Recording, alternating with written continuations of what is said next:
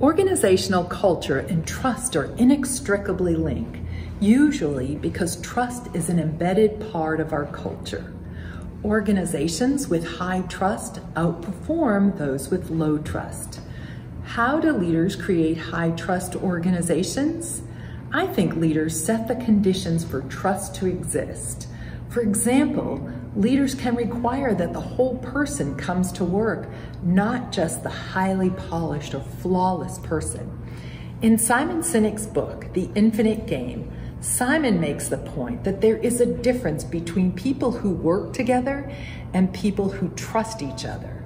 He points out that members of high trust teams don't hide mistakes from each other. More importantly, if cracks in the bonds of trust appear, they can be addressed without fear. Lead well this week.